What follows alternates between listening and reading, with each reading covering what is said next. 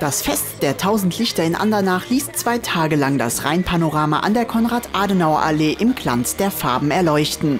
Neben vielen Imbiss- und Getränkebuden wurden dem Publikum ein musikalisches Bühnenprogramm geboten. Sowohl die Riverside Party am Freitag als auch die Partyband Surprise am Samstag begeisterten die vielen Besucher aus nah und fern.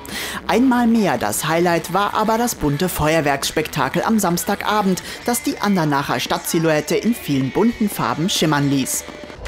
Das internationale Gaukler- und Kleinkunstfestival wurde am vergangenen Wochenende zum 23. Mal in der Koblenzer Altstadt präsentiert.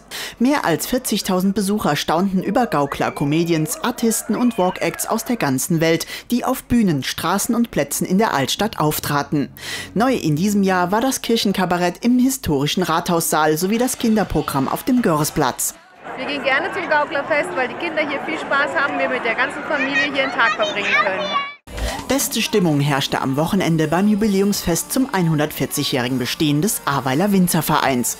Nach dem Festkommers am Freitag zum Auftakt heizte die Coverband Siegfried Service am Samstagabend den mehr als 1000 Besuchern bei der Sommernachtsparty mit dem bewährten Rockmix, aber auch vielen neuen Songs im Repertoire ein. Bis tief in die Nacht tanzten und feierten die Gäste bei angenehmen Temperaturen ausgelassen und genossen die edlen Tropfen des Winzervereins. In Brodenbach startete der 10. Berglauf wegen eines Wolkenbruchs mit etwas Verspätung. Dann aber gingen 54 Läuferinnen und Läufer an den Start, um die knapp sieben Kilometer lange Strecke und 192 Höhenmeter bis zur Ehrenburg zu bewältigen. Als erster im Ziel war Julia Jandry vom Team Teletubby.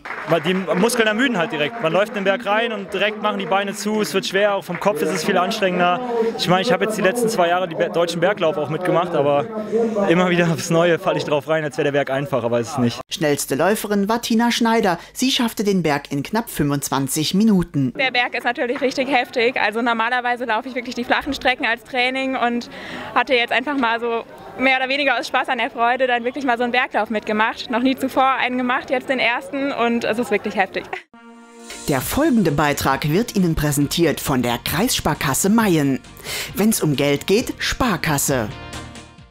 Nordwestlich der Stadt Main im Nettetal liegt das Schloss Büresheim. Die Wohnburg wie auch die Schlossanlage befinden sich im Originalzustand und laden zu einem Besuch im Zeitraum von Januar bis November ein. In den Sommermonaten können Besucher nicht nur Führungen, sondern auch eine Vielzahl an Veranstaltungen besuchen, die das malerische Schloss auf besondere Weise zum Leben erwecken. In diesem Jahr fand erstmals das barocke Gartenfest statt, das mit Musik, Theater und einem festlichen Feuerwerk die Gäste verzauberte.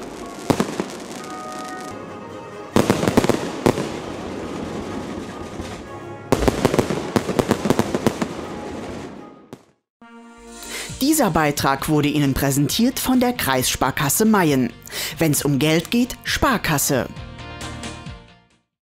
Mit Blick aktuell zum Lorelei ABBA Festival in St. Goarshausen.